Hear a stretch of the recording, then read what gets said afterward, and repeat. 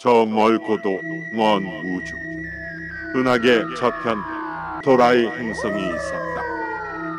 그곳엔 아리따운 일곱 왕비가 있었는데 그들을 도라의 성의 왕비 도라이비라고 불렀다. 그녀들은 저 멀리 지구 행성에 케이팝을 정복하기 위해 지구에 오게 되는데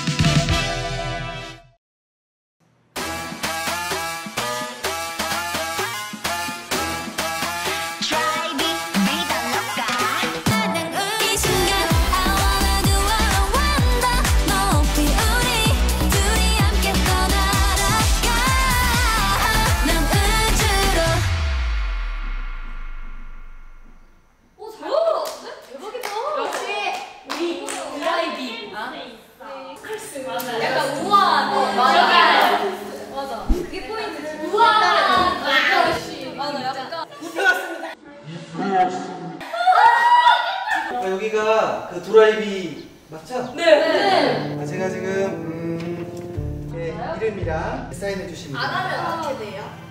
안 하면 그러면 우주 감옥에 갇혀요. 사기 아니야? 사기 사기? 무슨 근데 안 좋아. 이병통 제사. 네? 네? 이병통. 군대 가는 거. 그게 뭐? 트럼상. 군대 가야 군대. 저 저희 현대요?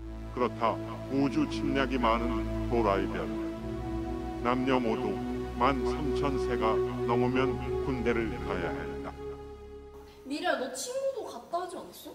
아 맞다 우리 친구가 우주에 있는데 그 친구가 눈이 세개 있거든 눈이 세 개요? 어, 눈세개 있는데 그 중에 두 개는 안 보인다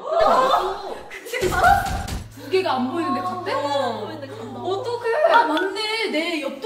아 사는 걔그 지구별이 지구별 말고 그 옆 동네 문어별 거기 있는데 걔가 다리가 여덟 개예요.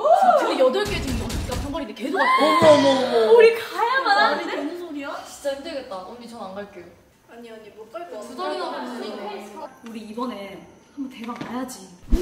그러면 컴백인데 저희 두달 준비했어. 우리의 단합력을 한번 보여주자. 우리는 정의로운 도라이니까 도라이 행성으로 가자!